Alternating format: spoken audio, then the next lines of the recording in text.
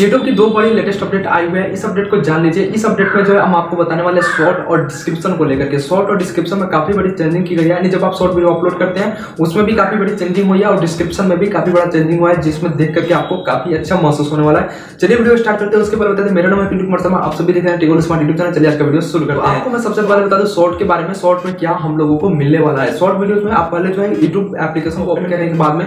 यहाँ पर जो क्रिएट शॉर्ट पर क्लिक करते थे तो यहाँ पर अब आपको यूट्यूब कैमरा में सिर्फ़ आप पंद्रह सेकंड तक की वीडियोस पहले क्रिएट कर सकते थे लेकिन अब आप जो है इसकी ड्यूरेशन बढ़ा करके 60 सेकंड तक की वीडियोज़ आप क्लिक कर सकते हैं। यानी कि एक ही बार में आप 60 सेकंड की वीडियोज़ आप यूट्यूब शॉर्ट में अपलोड कर सकते हैं।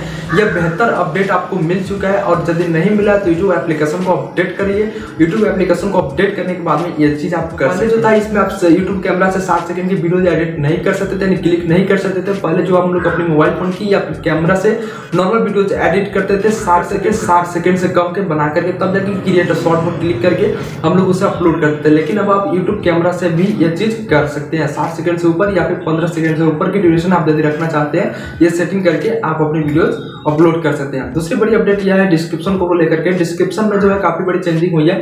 यदि आप कोई वीडियोज़ प्ले करते हैं यहाँ पर वीडियोज़ प्ले करने के बाद में डिस्क्रिप्शन पर क्लिक करते हैं तो डिस्क्रिप्शन पर क्लिक करने के बाद में यहाँ पर दे सकते हैं कि उस वीडियो पर कितने व्यूज़ आए, कितने कितने व्यूज़ आए हुए हैं, कब इंस्टेंट वीडियोज़ अपलोड किया हुआ ये सब आपको बोल्ड अक्षर में और काफ़ी अच्छा डिज़ाइन किया हुआ आपको मिलता है। ये थी दो बड़ी अपडेट जिसके बारे में आपको जानना चाहिए। या अपडेट जानकर के आपको कैसा लगा कमेंट करके ज़रूर बताइए। वीडियो को लाइक ज़रूर कीजिए। चैनल पर नए हैं तो चैनल को सब्सक्राइब कीजिए। इस तरीके का वीडियो आपको हमेशा मिलता रहता है। चलिए मिलते हैं ऐसे मज़ेदार वीडियो के साथ एक नेक्स्ट वीडियो में।